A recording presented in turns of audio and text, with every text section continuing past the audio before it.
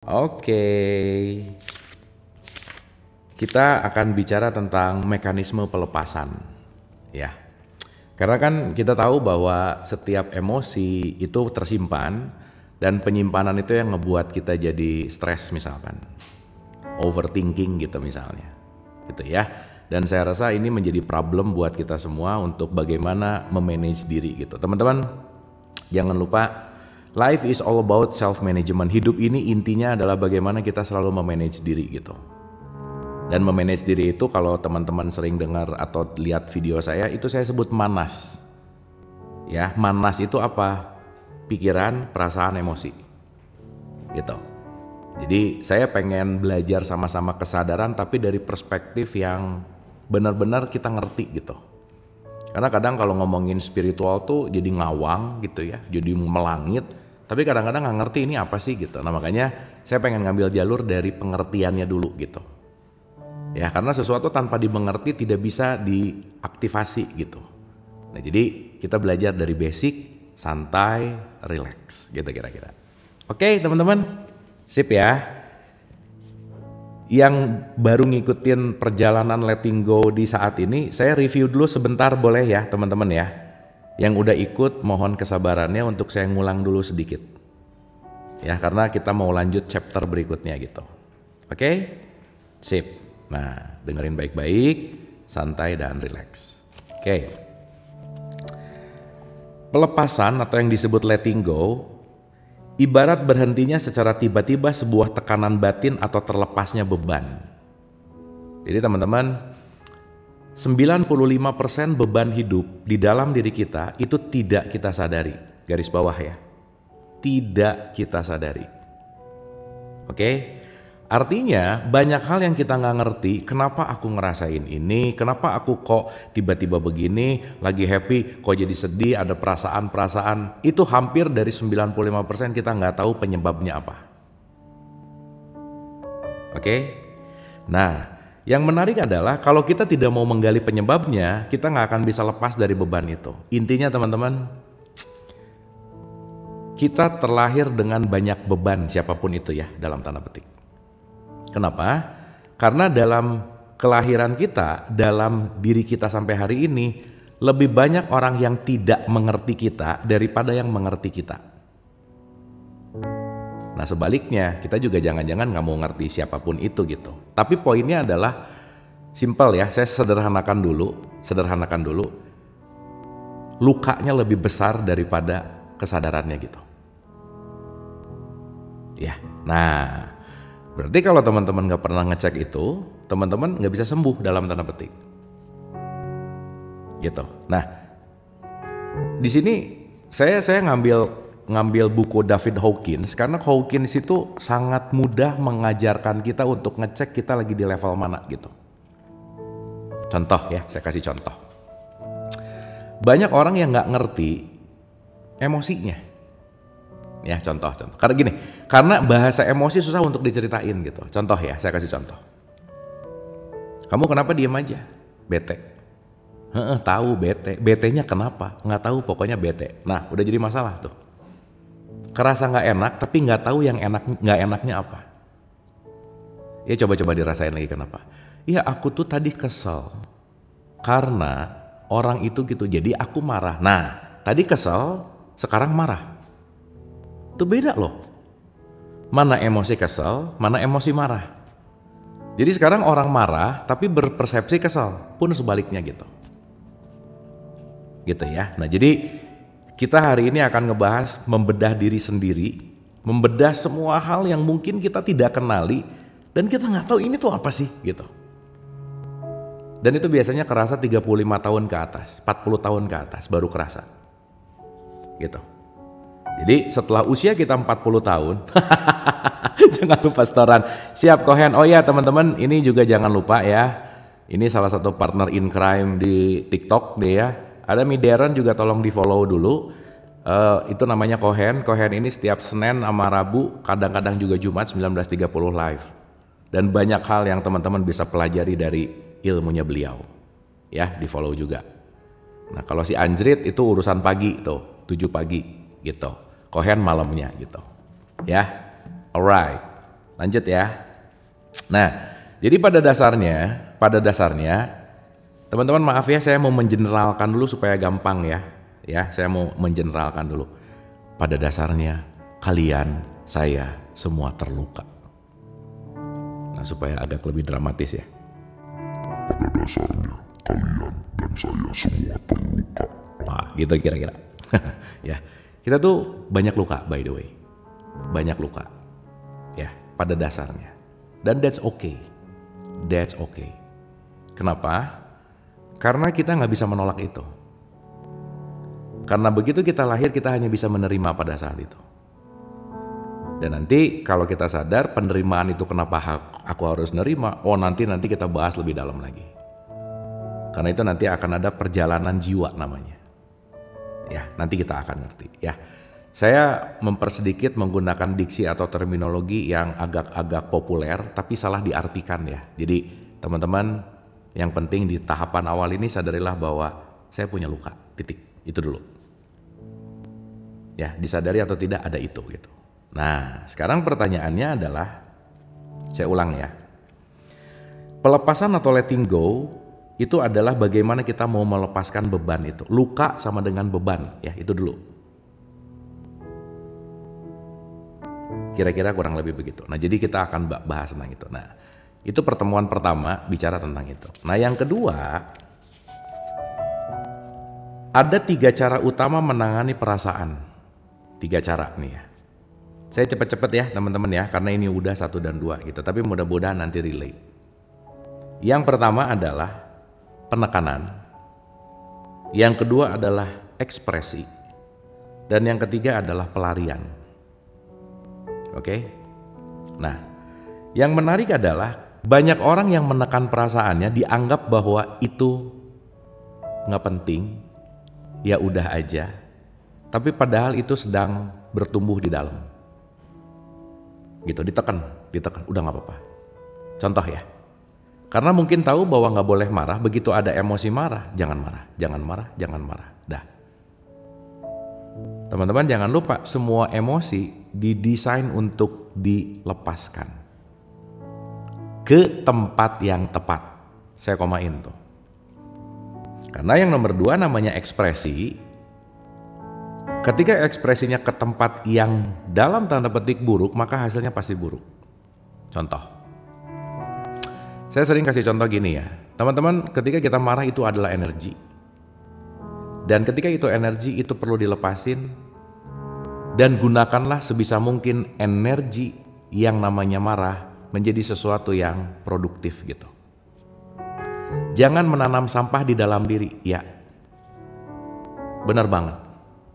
Ya, melihara kambing bisa gede, potong waktu kurban. Ini melihara marah. Nggak ada nggak ada nggak ada gunanya sih sebenarnya. Cuman maaf ya, karena mungkin itu udah kebiasaan untuk dipelihara, untuk disimpan, oh nanti membesar di dalam. Teman-teman jangan salah ya. Teman-teman begitu ngelihat ada orang tenang, kalem, santai, uh di dalamnya bisa berantakan berantem loh. Kita nggak tahu. So itulah kenapa jangan judge. Kurangi menilai. Ya, karena menilai nanti nanti kita akan bahas. Karena menilai adalah salah satu kegiatan yang ngebuat kita cepat drop secara energi. Oke? Ya. Sip. Jadi ditekan.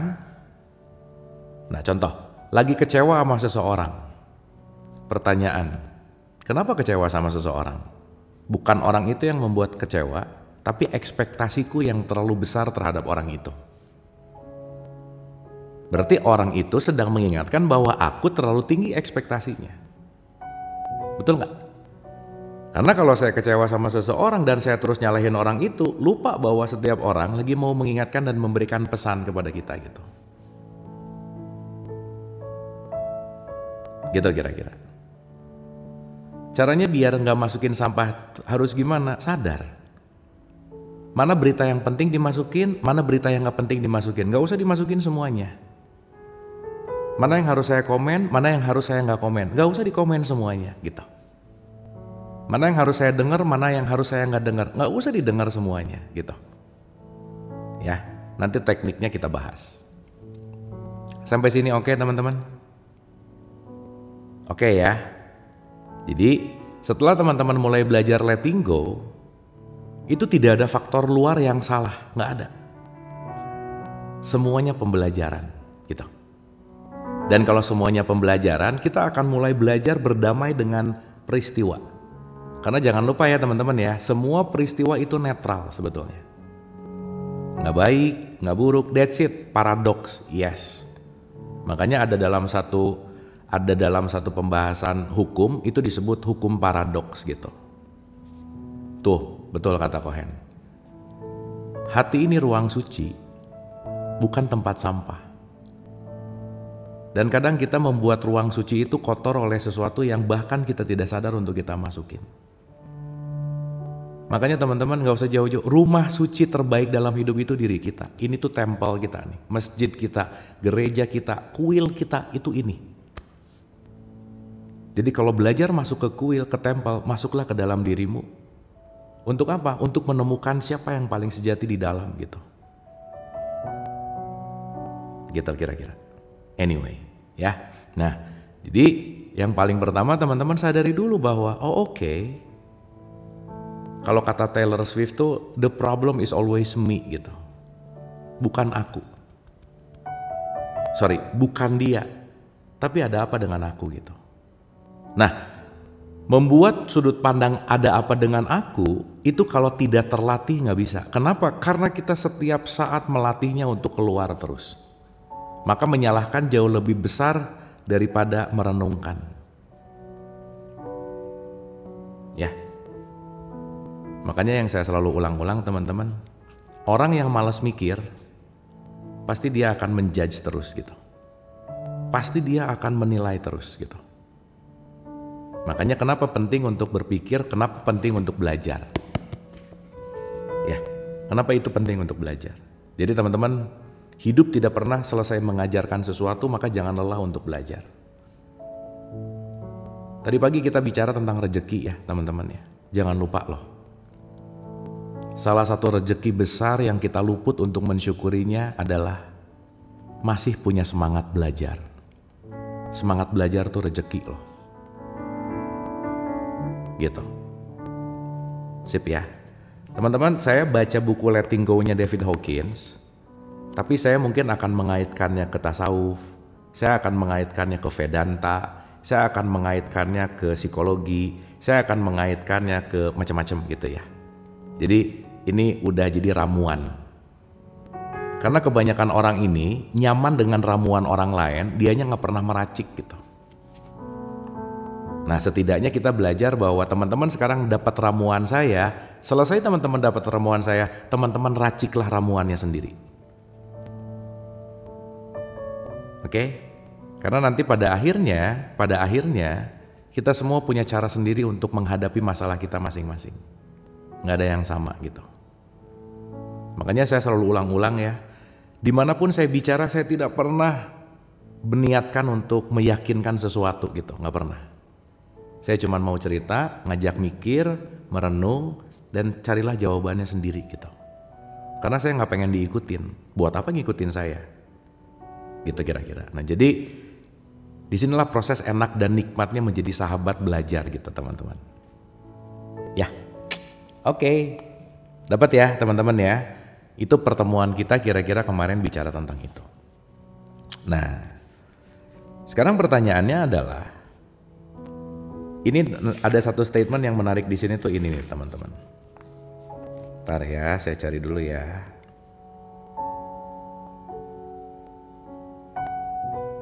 Hmm. Bukan pikiran dan bukan fakta tetapi perasaan yang menempel ke dalam pikiran dan fakta yang ngebuat kita tidak nyaman. Jadi yang beban itu adalah di perasaannya gitu. Ya.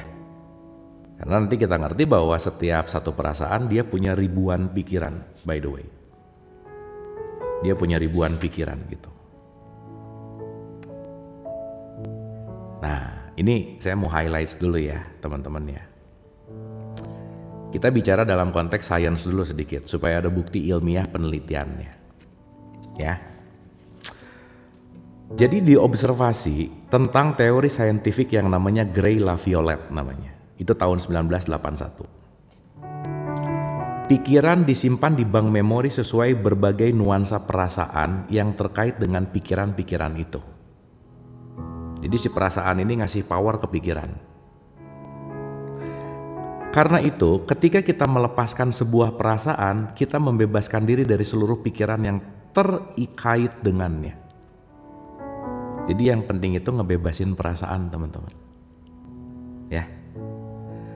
Ketika kita tahu bagaimana cara berpasrah, seluruh perasaan apa pun bisa dilepaskan kapan saja, di mana saja dalam sekejap, dan itu bisa dilakukan dengan mudah dan berkelanjutan. Jadi yang lama dipegang, tinggal dilepasin, sebenarnya lepas. Tinggalnya, gampangannya. Tapi yang ngebuat kita nggak mau lepas sebenarnya. Kamunya aja yang nggak mau ngelepasin perasaan itu. Kenapa? Karena kamu ngerasa bahwa ya aku gini karena mau ngasih pelajaran buat dia. Kalau kamu nggak dapat pelajaran, nanti kamu nggak berubah. Nah, satu. Jadi dendam tuh. Ya karena kamu nggak layak dimaafkan. Kamu yang salah sama saya, kok saya yang memaafkan? Cara melepaskannya memaafkan, nggak ada lagi.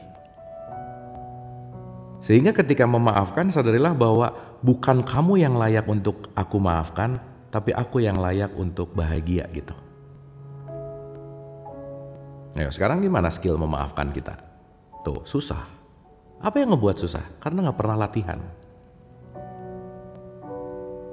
Kenapa kenapa nggak pernah dilatih? Karena nggak tahu kesadarannya, nggak tahu ilmunya. Dan di situ nanti kita penting untuk terus belajar gitu. Gitu ya.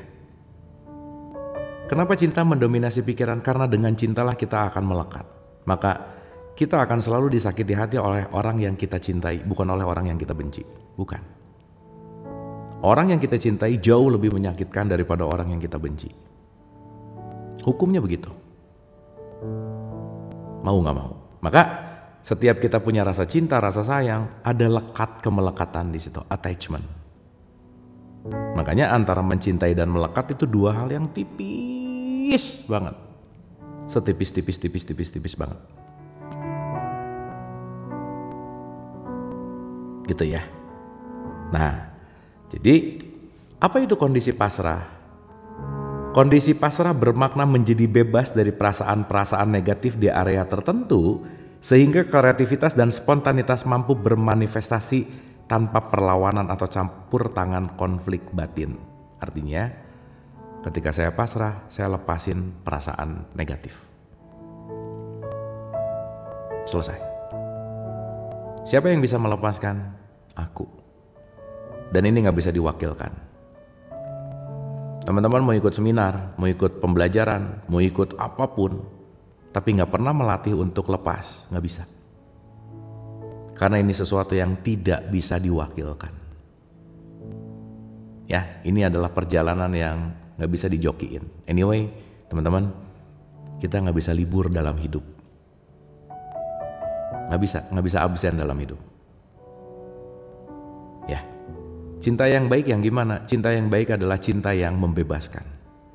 Ya, nanti kita bahas tentang essential of love ya, nanti kita bahas ke situ. Oke ya teman-teman ya. Dapat ya, mudah-mudahan ada sesuatu nih dari opening. Kita pemanasan dulu, belum mulai ya. Ini baru pemanasan nih. Baru warming up dulu. Ya, warming up. Nah jadi sekarang yang punya stigma susah, nggak bisa. Siapa yang bilang susah? Aku. Siapa yang bilang nggak bisa? Aku.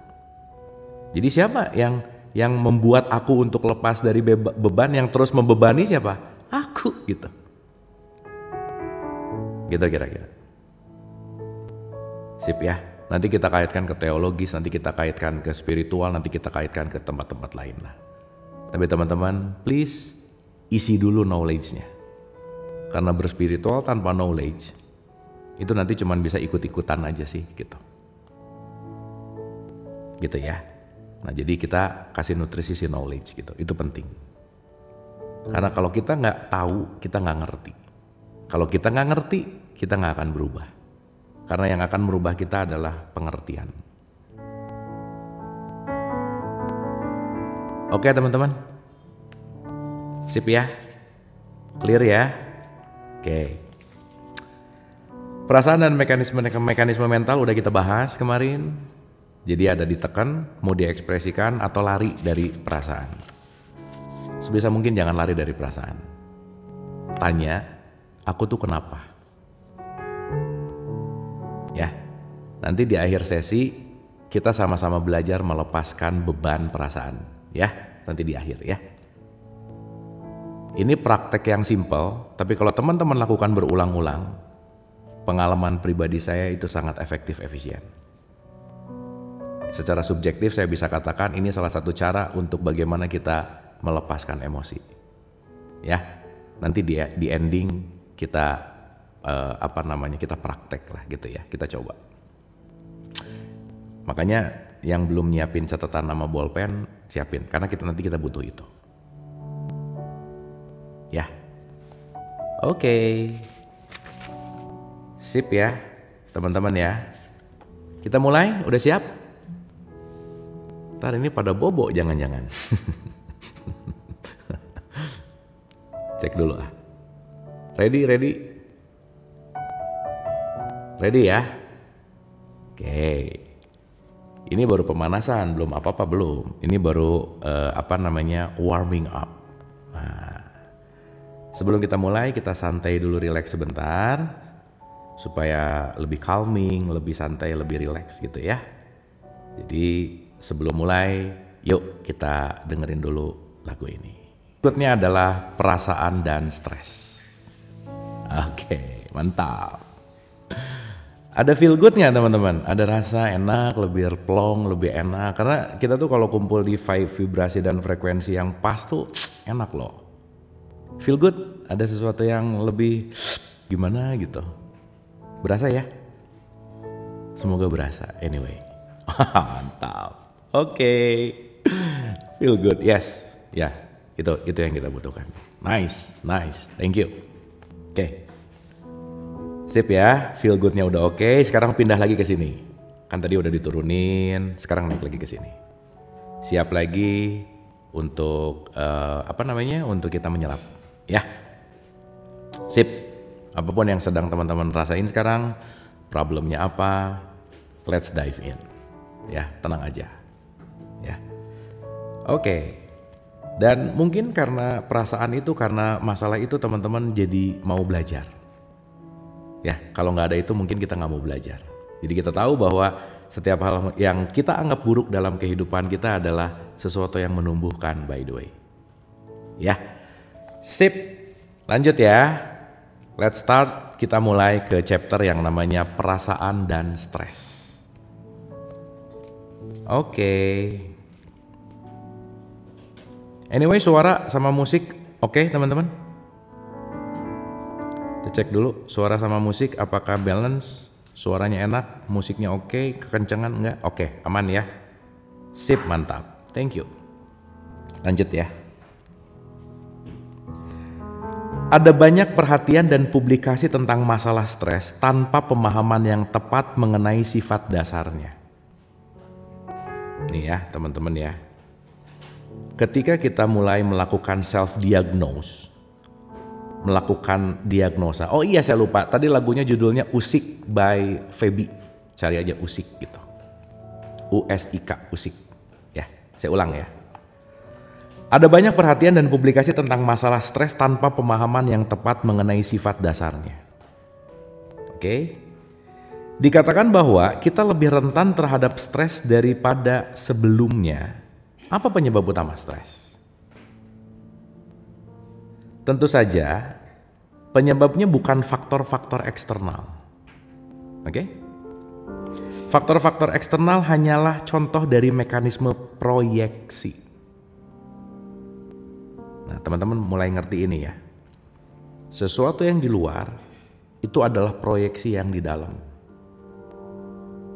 Jadi, mulai sadari bahwa bukan kenapa kamu gitu, kamu gitu disebabkan oleh kenapa dengan aku gitu. Ulang ya, ulang ya. Ulang, ulang. Faktor-faktor eksternal hanyalah contoh dari mekanisme proyeksi.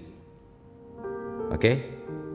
Jadi kalau kita bicara dalam konteks mekanisme proyeksi, semua yang terjadi itu datang dari proyeksi.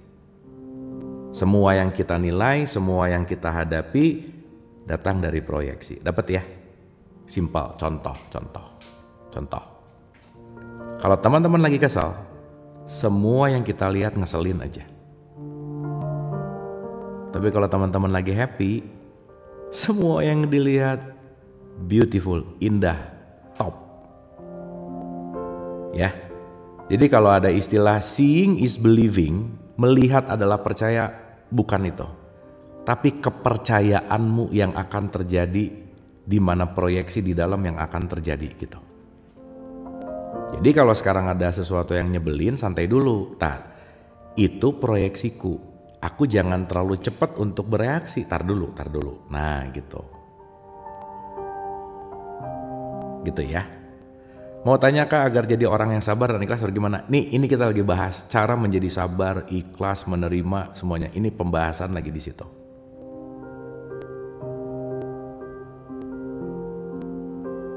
Sampai sini oke okay, teman-teman? Nangkep, nangkep maksud saya nggak? Tentang proyeksi.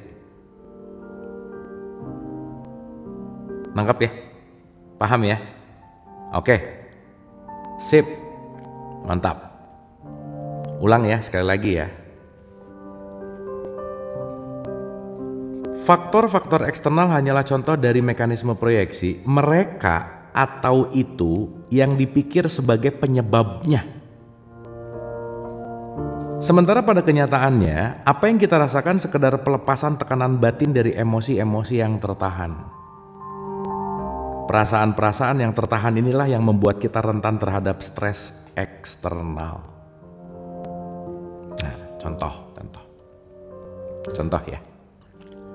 Misal, teman-teman kalau percaya kalau ada orang yang pakai baju kuning, dia bikin aku jadi tidak beruntung. Itu kepercayaan. Terus karena aku percayanya gitu, ada orang yang pakai baju kuning. Astaga, ketemu baju kuning. Aku pasti nggak beruntung. Nah, mulai itu. Itu belief kita. Yang nanti begitu terjadinya tidak beruntung, gara-gara si kuning tadi sih gitu. Itu loh. Jadi hati-hati sama kepercayaan. Ya, hati-hati sama belief. Karena belief itu belum tentu realitas gitu. Makanya penting untuk selalu mengupdate si belief. Ya. Nah, terus dibilang contoh gampang lagi. Teman-teman pernah marah sama orang lain ya gara-gara dia anggapannya. Enggak kok. Marahnya udah ada di sini. Sesuatu yang di sini tuh yang saya bilang tadi semua kita terluka. Dah mau nggak mau. Semua kita punya luka. Nih saya ulang-ulang ya supaya agak dramatis. Semua siapa pun kita punya luka. Tolong ingat ini baik-baik. gitu ya. Itu ingat tuh. Jadi maksud saya jangan ngerasa bahwa aku orang yang paling menderita di dunia ini. Enggak. Enggak. Pada dasarnya semua menderita. Pada dasarnya. Cuman kalau ada orang ngomong, kamu kok gak kelihatan menderita? Iya aku menderita sih, tapi aku gak pernah bikin status soalnya. Aku gak pernah cerita-cerita aja. Gak pernah mengumbar deritaku gitu. Nah sekarang yang menarik deritanya diumbar gak diberesin gitu. Akhirnya nyari perhatian dari luar. Bikin status aja. Berharap ada orang yang baca terus jadi kasihan sama kita. Akhirnya kita jadi pengemis. Ngemis kasihan orang. Terus datang pengemis minta-minta. Oh dasar kamu pengemis. Nah yang pengemis siapa nih? Dia yang minta-minta atau aku yang bikin status? Ayo gimana? Berarti pengemis nunjuk pengemis gitu. Bener nggak teman-teman?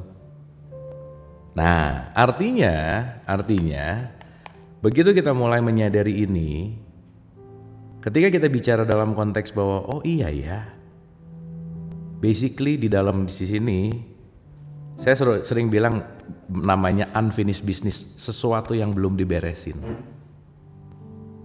Sesuatu yang belum selesai gitu. Jadi ingat ya, nggak ada kata-kata aku sakit hati karena gara kamu. No. Sakit hatinya udah ada, tapi dia hanya mencet tombol. Gitu. Sampai sini oke. Okay. Paham? Teman-teman sambil didengar, sambil dirasain ini gue banget deh gitu. Relate deh gitu ya. Jadi sambil melakukan yang namanya penelaahan ke dalam gitu. Awasnya jangan gini nih, begitu ngomong jadi ingat bener dia banget ya. Ih dia banget gitu tuh orangnya. Awas jangan gitu loh ya. Teman-teman kalau punya kebiasaan dia dia dia dia dia nggak akan berubah aja. Ya saya sering cerita nih ya di pengajian nih biasanya. Eh, jangan jadi orang pelit.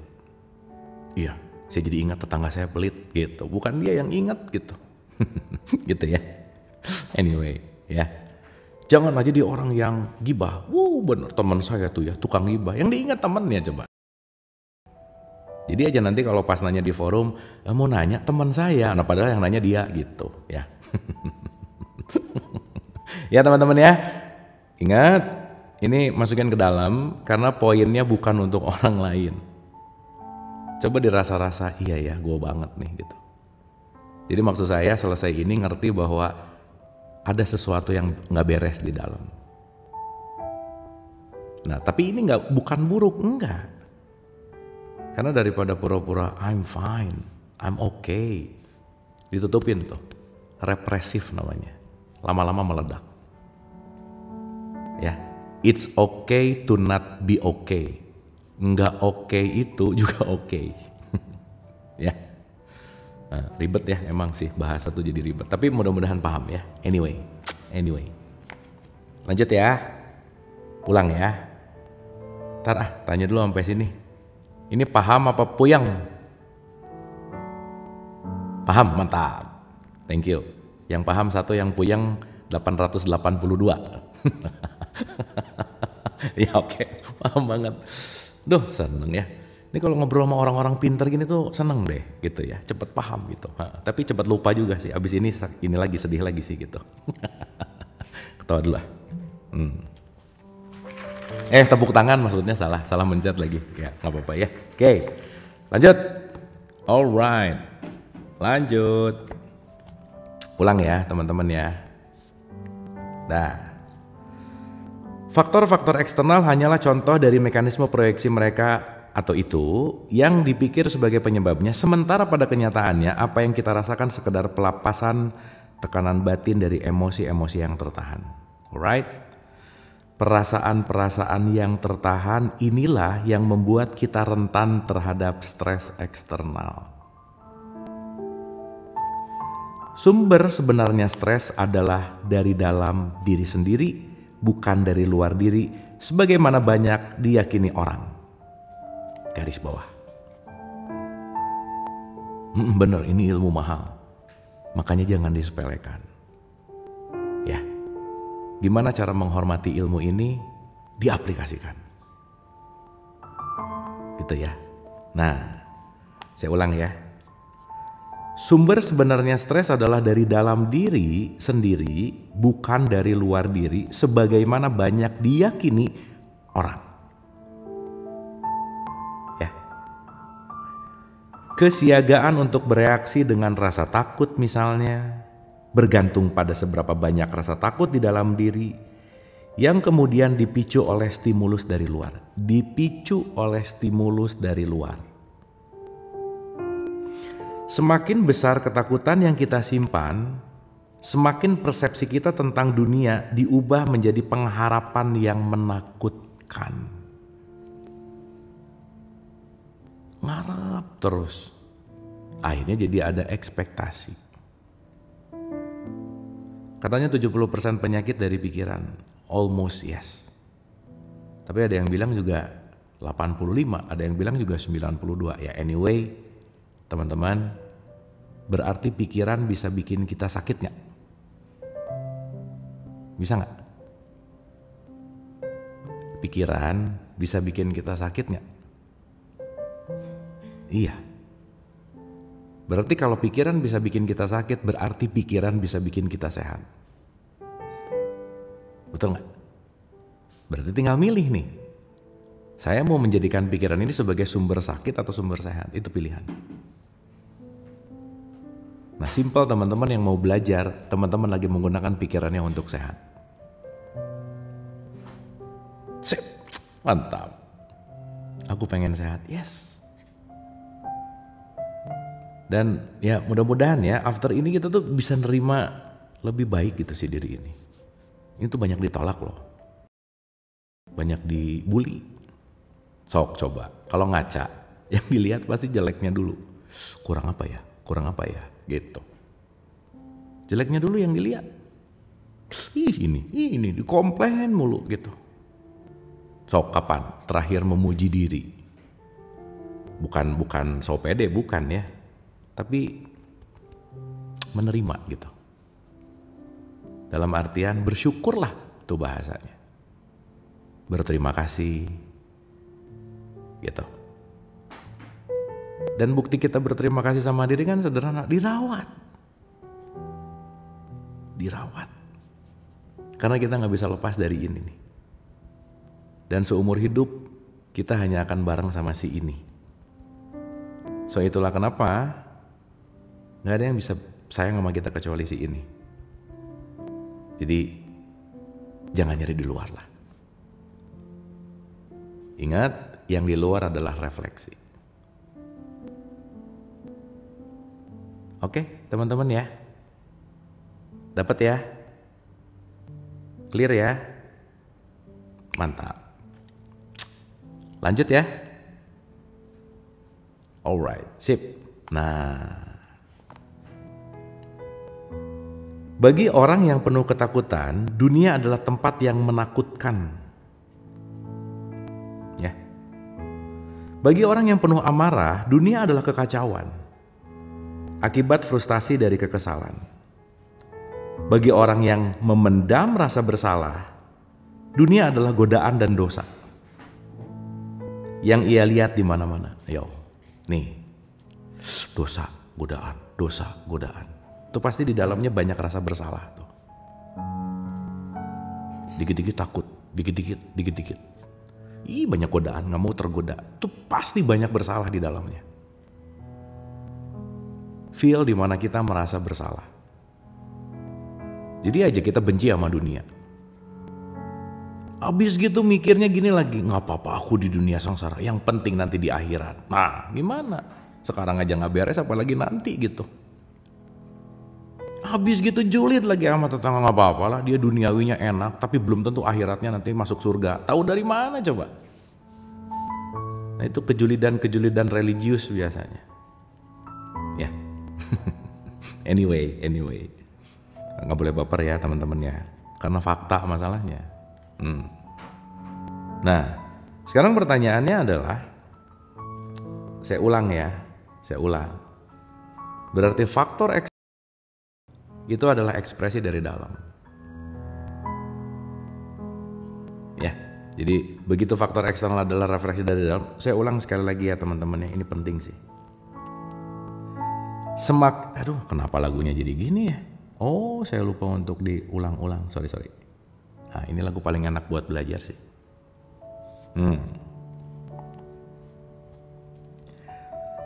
Semakin besar ketakutan yang kita simpan, semakin persepsi kita tentang dunia diubah menjadi pengharapan yang menakutkan. Bagi orang yang penuh ketakutan, dunia adalah tempat yang menakutkan. Bagi orang yang penuh amarah, dunia adalah kekacauan akibat frustasi dan kekesalan. Bagi orang yang memendam rasa bersalah, dunia adalah godaan dan dosa yang ia lihat di mana-mana. Apa yang ada di dalam diri mewarnai dunia kita. Ah, nih punch point. Jadi warna di luar tergantung warna di dalam. Kalau teman-teman pakai kacamata hijau, ya semuanya jadi hijau. Begitu ketemu teman, kenapa muka lu hijauan? ya. Terus teman yang ngomong, buka dulu kacamatanya dong. Kalau kamu udah ngebuka kacamata, kamu akan melihat aku ini indah. Apa maksudnya? Kenapa kita bisa menilai, julid, mengkategorikan? Karena kita pakai kacamata konsep kita. Dan kalau kita ngelepas semua konsep, negatif thinking, yang kita lihat hanyalah keindahan. Bukankah ketika kamu melihat seseorang itu sangat indah, kamu melihat Tuhan di situ? Yang kamu lihat Tuhannya, bukan sosoknya. Tapi karena sosoknya adalah wujud, maka kamu melihat wujud yang isinya adalah kasih sayang Tuhan gitu. Jadi begitu saya terpesona dan saya amazed kepada siapa pun, saya amazed sama isinya, bukan orangnya. Ininya nggak penting, dalamnya yang penting. Betul nggak? Maka kalau kita udah mulai bisa membedakan mana fisik dan mana isi, saya hanya akan amazed dengan siapa penciptanya gitu. Dan saya tahu bahwa itu adalah bagian dari manifestasinya dia. Bentuknya apa? Kasih sayang Tuhan. Gitu. Ya. Oke. Nah jadi saya ulang ya. Ini penting, uh, penting banget nih teman-teman. Ada di dalam diri mewarnai dunia kita. Ya, apa yang mewarnai, diwarnai. Jadi yang di luar tuh, hmm. Nah, karena kita jarang latihan ngeliat isinya, kita ngejudge mereknya. Oh dasar kamu orang ini itu ini itu ini itu. Padahal yang kita lihat dan aku dua-duanya kasih sayang yang sama gitu. Betul nggak? Nah ini kalau nggak dilatih kan nggak bisa. Apalagi udah terpapar sama dogma, doktrin, pengajaran, ilmu dari figur otoritas, orang tua, lingkungan. Gitu. Anyway, ya. Sekali lagi ya teman-teman ya, karena ini penting banget. Boleh ya? Sekali lagi ya, nggak bosan ya? Sekali lagi aja. Sekali lagi. Ya, sekali lagi ya. Oke. Semakin besar ketakutan kita yang kita simpan, semakin persepsi kita tentang dunia diubah menjadi pengharapan yang menakutkan. Oke. Bagi orang yang penuh ketakutan, dunia adalah tempat yang menakutkan. Bagi orang yang penuh amarah, dunia adalah kekacauan akibat frustasi dan kekesalan. Bagi orang yang memendam rasa bersalah, dunia adalah godaan dan dosa yang ia lihat di mana-mana. Apa yang ada di dalam diri mewarnai dunia kita. Jika kita melepaskan rasa bersalah di dalam diri kita, kita akan melihat dunia nan lugu dan indah. Namun, Orang yang menyimpan rasa bersalah hanya akan melihat kejahatan di dunia. Aturan dasarnya adalah kita berfokus pada apa yang kita tahan. Duh ini dalam banget sih. Kita berfokus terhadap apa yang kita tahan. Semakin posesif, semakin takut kehilangan semakin mengontrol, semakin takut untuk kehilangan. Semakin pengen perfect, pengen sempurna, semakin takut untuk tidak terjadi. Betul nggak? Maka meninggal bagus dikit daripada nunggu perfect tapi terjadi. Ini nunggu perfect dulu nih nggak jadi-jadi.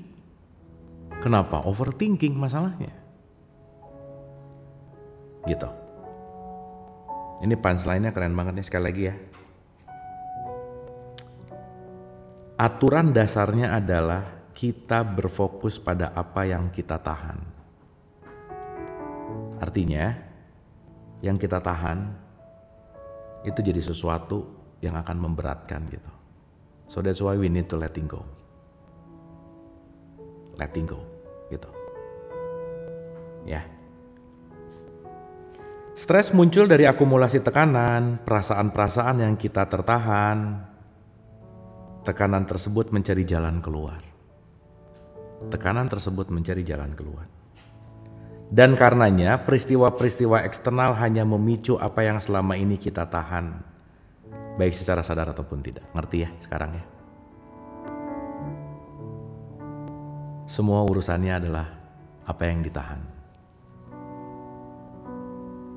Oke.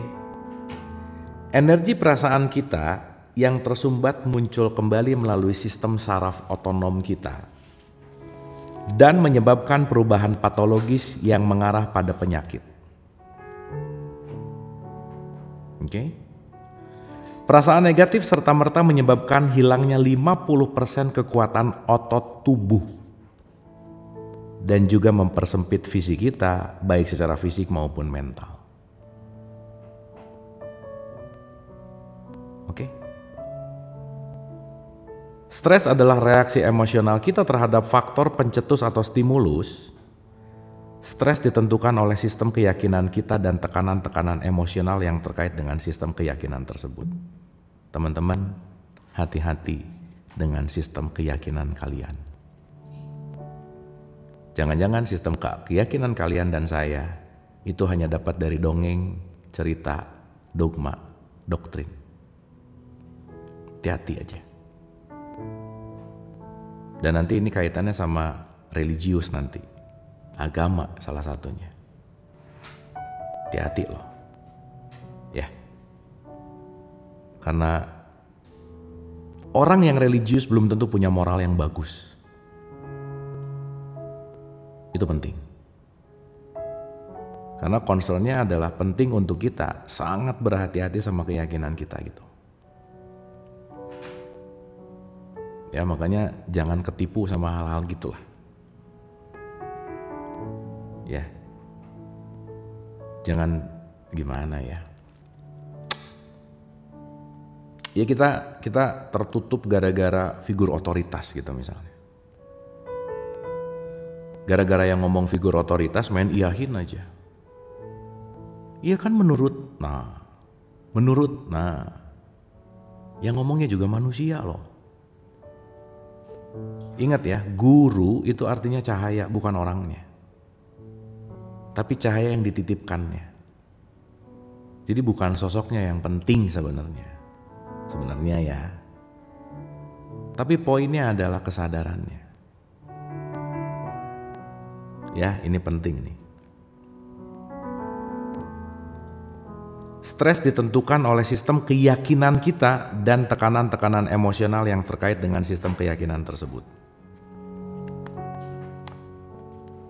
Makanya gunakan akal, gunakan akal gitu. Jangan pokoknya katanya, pokoknya katanya gitu. Ya. Maka bukan stimulus eksternal yang menyebabkan penyebab stres, melainkan tingkat reaksi kita Semakin kita berpasrah, semakin kita terhindar dari stres. Bencana akibat stres hanyalah akibat dari emosi-emosi kita sendiri. Efektivitas pelepasan dan berkurangnya respon tubuh terhadap stres nanti akan ada bahasannya sendiri. Oke.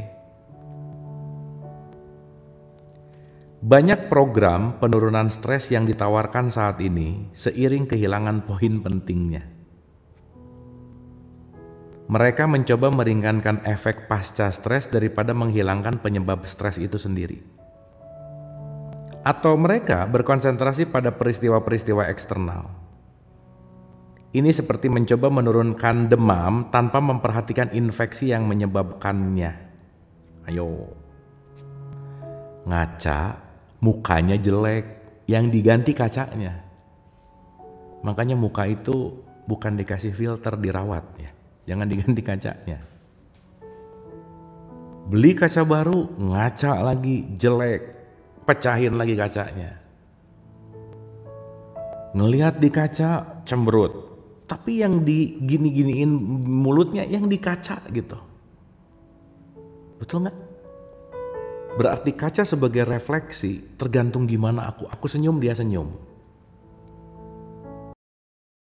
Aku mukanya merengut gitu dia juga ikut merengut. Nah berarti sekarang maaf ya, jangan-jangan banyak ngeganti kaca sih gitu. Tapi nih si ininya nggak diberesin gitu. Pakai efek boleh lah. Kacanya bosan. gitu ya. Oke ya teman-teman ya. Dapat ya. Nah, nanti kita bahas tentang kesadaran tentang kesadaran kaca, refleksi. Kalau udah kita meng, kalau kita udah ngaca, yang asli yang mana sih? Makanya nanti kita ngerti bahwa ada statement the image of God gitu. Imago Dei. Begitu kamu bercermin, refleksi itu menentukan apa yang di depan cermin maka perubahan tidak pada cerminnya, bukan ngeganti kacanya, tapi merubah refleksinya.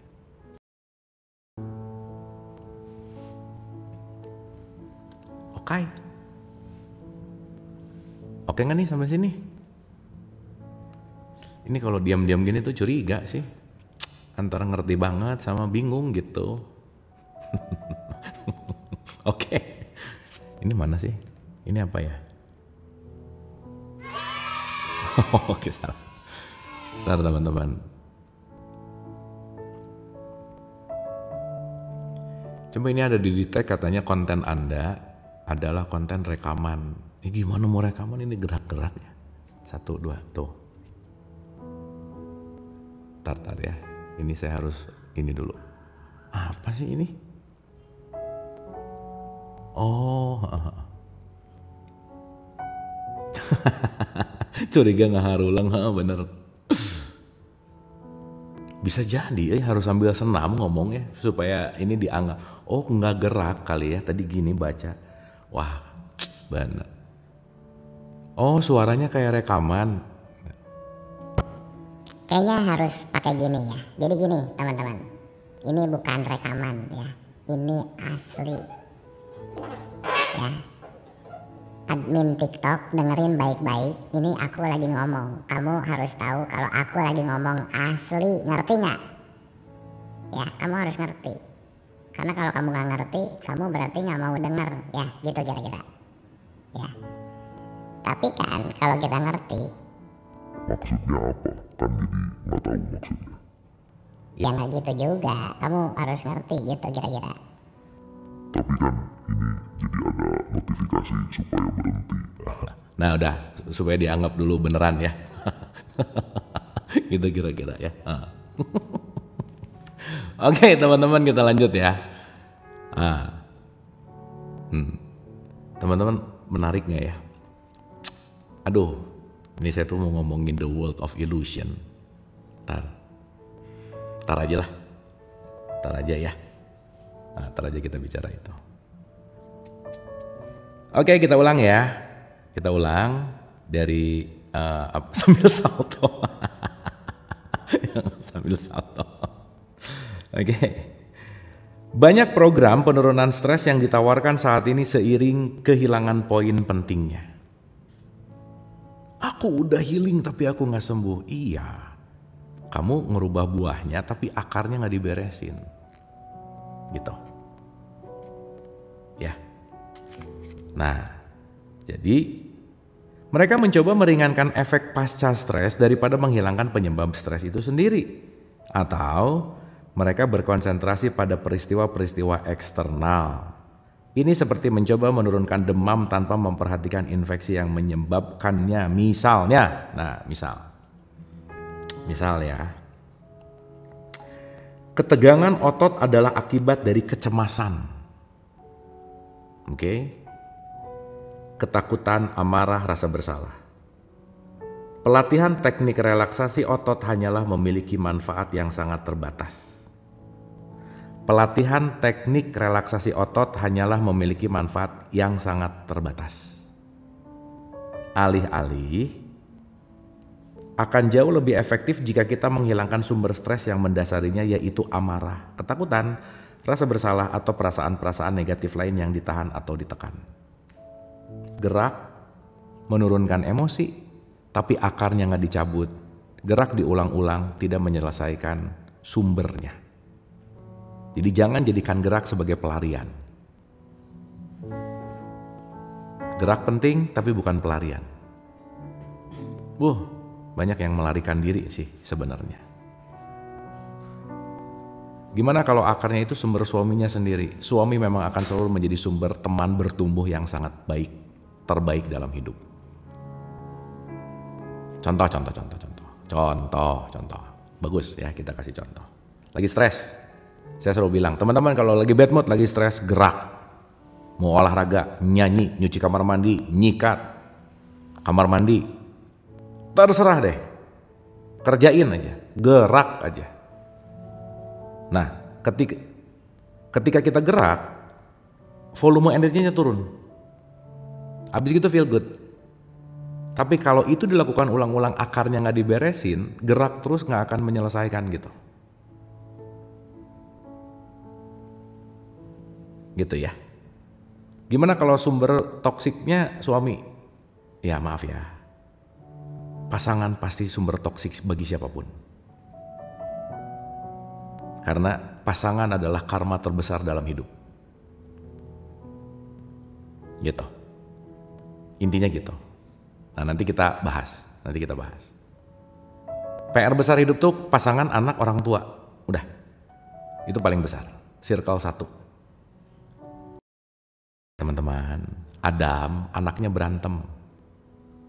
Nuh, istri anaknya ribet. Ibrahim ribut sama bapaknya. Musa ribut sama bapak tirinya. Ya.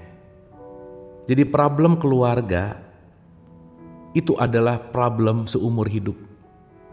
Jadi kalau sekarang ada orang ngomong, aku punya masalah keluarga, ini dari zaman Adam juga udah ada, klasik masalahnya. Ini dapat nggak maksudnya? Itu ya. Gautama benar, that's it. Buddha juga kabur dari rumahnya. Mm -mm. Gitu. Jadi udah terima aja. Tapi nanti ada batasan memang, ada. Ya ada. Dan kalian gak bisa milih pasangan sih sebenarnya. Ya dipersatukan kok gitu. Mm -mm. Mau gimana pun gak bisa. Karena itu bagian dari soul journey. Wah. Ntar kapan-kapan kita bahas hakikat pernikahan gitu ya teman-teman ya. Ini kalau dilanjutin jadi ceramah nikah masalahnya ya. Sip ya. Anyway, kira-kira saya mau lanjut lagi dikit lagi.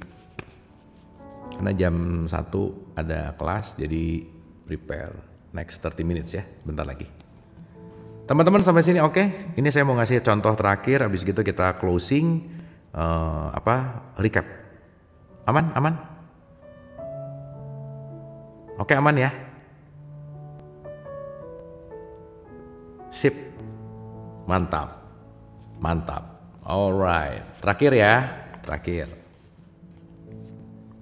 Hmm, bisi bosan ya jam 7 nonton, jam 10 nonton. Ntar bosan lagi. Yang penting bertahap pelan-pelan tapi dapat gitu. Alright, let's go.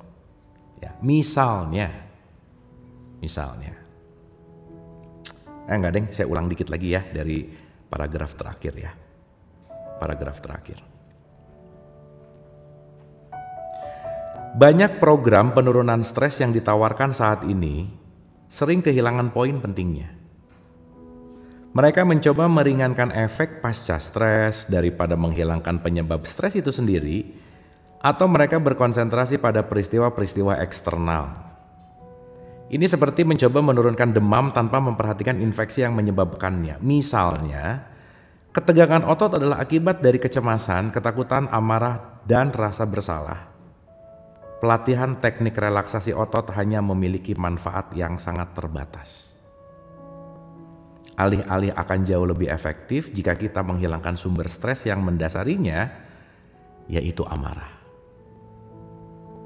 Ketakutan, rasa bersalah atau perasaan-perasaan negatif yang lain yang ditahan dan ditekan. So, mulai perhatikan apa yang banyak ditekan. Dan apa yang banyak ditekan itu yang akan membuat realitas yang keluarnya menjadi sebuah hal yang terjadi faktor eksternal itu bukan dalam tanda petik yang membuat kita marah tapi yang ditekan itulah yang membuat di luar diri kita menjadi tidak baik gitu kira-kira. Oke, teman-teman. Garit dapat? Dapat ya? Nah. Ya, nanti jam 8 kita ada live juga ya, jam 8 malam. Nggak tahu yang jam 1 bisa di live-in nggak ya? Enggak sih kayaknya. Ngabuburit ada sih kayaknya nanti, seperti biasa ya, jam 5 gitu. Nanti jam 8 kita ketemu Rio Hasan, Dok Des. Nah. Oke, teman-teman dapat ya. So, mudah-mudahan uh, di di mana pun teman-teman dapat apa yang dipelajari. Tapi intinya mudah-mudahan sesuai dengan kapasitasnya masing-masing. Nah sekarang sebelum kita praktek ya, kan harus ada prakteknya. Coba dong teman-teman tulis beberapa kalimat pelajaran apa yang aku dapatkan hari ini dari chapter letting go yang barusan kita pelajari. Sok ditulis buat evaluasi. Yo, dapat apa? Simpel-simpel aja. Melepaskan, nice. Sabar, nice. Nahan amarah, oke. Okay. Lebih harus ikhlas, oke. Okay. Realita, yes. Apa yang terjadi di dalam mewarnai di luar, tak itu benar eh, itu punch point banget, benar. Yes. Ih, mantap. Sik ya, ini kalau belajar interaksi pada belajar benar sungguh-sungguh tuh kita sama-sama naikin ini loh, naikin vibrasi gitu. Kan seru ya kita belajar. Oke teman-teman, thank you ya responnya. Very nice. Itu buku apa? Ini buku Letting Go, bukunya David Hawkins. Kalau yang mau beli. Nah. Tapi biasanya dibeli aja sih, nggak dibaca. Biasanya, biasanya. Nah di pajang gitu banyak bukunya. Baca? Enggak. Makanya saya bacain gitu. Beli di mana? Banyak banyak. Dicari aja letting go. Di uh, TikTok Shop juga kayaknya ada deh. Oke ya teman-teman ya. Mendingan dengerin. Nah, ya udah nggak apa-apa. Hmm. beli enggak baca enggak denger. Kan dapat juga isinya ya. Tapi ingat yang saya sampaikan itu racikan saya. Teman-teman racik sendiri. Ya, jangan jadi second hand people. Cuman ikut-ikutan, ikut-ikutan gitu. Racik sendiri. Oke, teman-teman ya. Ini tadinya mau praktek, kita praktek bentar lah ya. Masih ada oke, okay? masih mau sebentar lagi, oke? Okay? 10 minutes gitu.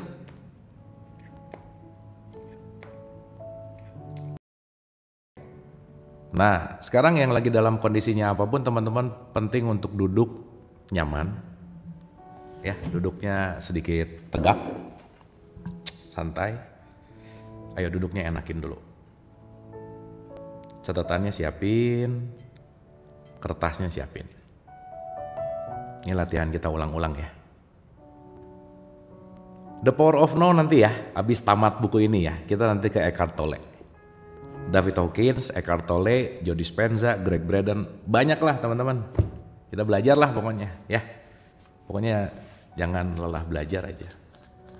Ternyata aku belum ikhlas, bagus tuh mulai disadari. Ternyata aku nyebelin ya, oh bagus tuh. Ternyata aku pelit, bagus. Ya. Buku Hukum Langit, iya eh buku Hukum Langit nanti ya kita bahas ya. Frekuensi dan vibrasi nanti kita bahas. Nanti kita bahas. Belum belum masuk ke situ. Macam ada yang lepas dariku. Oh, mantap. Mantap. Nice, nice, nice, nice. Oke, teman-teman. Duduk santai, relax, dengerin saya baik-baik ya. Dengerin saya baik-baik. Sok santai dulu, relax. tangannya lepasin dari chattingan. Yuk kita belajar kerjasama. Gak boleh ada yang komen. Nah lepasin dulu, lepasin dulu. Kita mulai kalau benar-benar komennya udah nol ya. Nah lepasin dulu, lepasin dulu, lepasin. Nah bagus, sip ya. Dilarang komen. Dengerin baik-baik. Ih nggak boleh komen dulu, lepas, lepas, lepas, lepas, lepas, lepas. Ya, no, dah, sip. Mm-mm, dah, nanti nanti komennya habis ini, ya. Nah, ini latihan, latihan ya. latihan, dah, sip. Hup, diem, diem, diem, diem, diem. Ih, diem, dah. Sip. Nah, sekarang gini teman-teman. Kita tahu bahwa kita banyak yang ditahan di dalam, banyak sesuatu yang ditahan. Sekarang teman-teman ambil waktu dua menit. Ya, dua menit aja jangan lama-lama. Nanti saya kasih clue-nya. Teman-teman diam sebentar. Tangannya boleh gini. Sok tangannya simpan di dadanya masing-masing. Matanya boleh dipejamkan. Relax sebentar, rasain. Dan teman-teman benar-benar rasain apa sih yang per saat ini berat banget aku rasain. Apa sih yang per saat ini aku gak nyaman banget, gak enak banget. Silahkan, rasain itu. Rasain,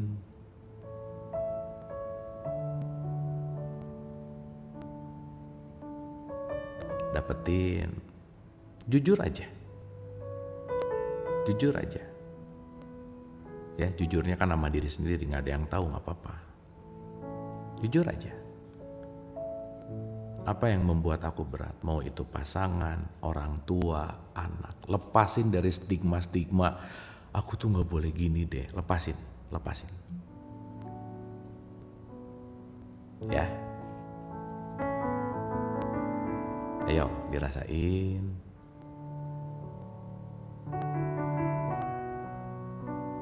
Dah. Sekarang teman-teman boleh dibuka matanya dan tulis apa yang paling dirasa berat yang barusan dirasain. Tuliskan dalam sekitar beberapa kalimat aja. Aku sedang merasakan berat tentang ini karena ini itu. Silahkan ditulis.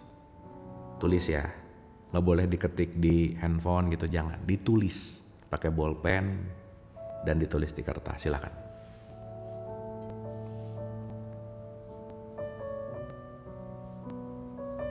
tulis nggak usah terlalu panjang. Yang penting emosinya keluar.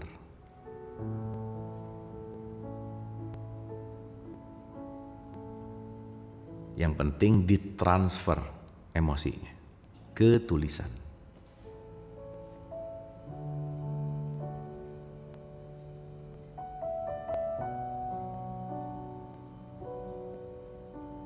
Oke. Ditulis. Dah, kalau udah selesai ditulis, baca lagi pelan-pelan. Tulisan sendiri itu. Baca lagi pelan-pelan tulisan sendiri itu. Udah.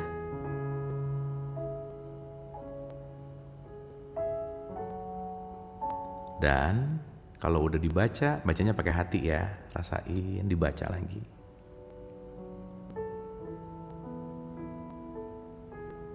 Dan dengan semua keikhlasan hati kita, bilang ke tulisan itu, terima kasih. Diulang lagi, terima kasih. Diulang lagi, terima kasih.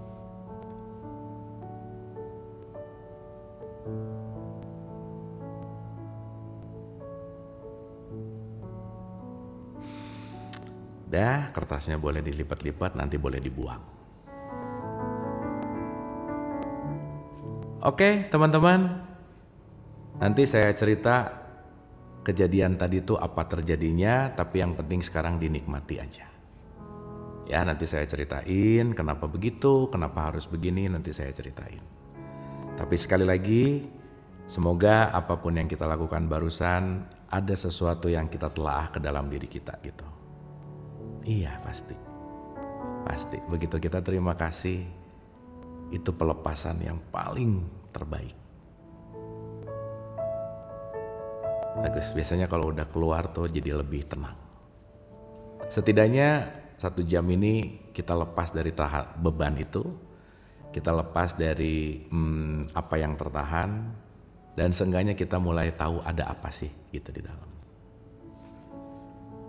Oke teman-teman, thank you ya, terima kasih.